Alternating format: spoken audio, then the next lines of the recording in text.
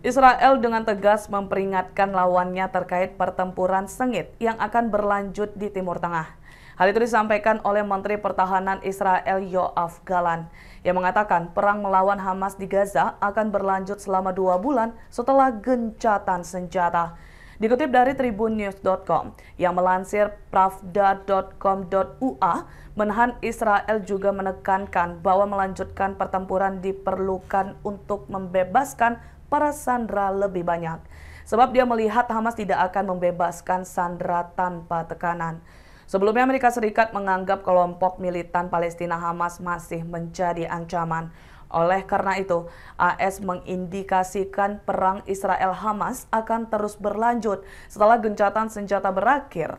Juru bicara Dewan Keamanan Nasional Gedung Putih John Kirby mengatakan pertarungan di Gaza belum berakhir.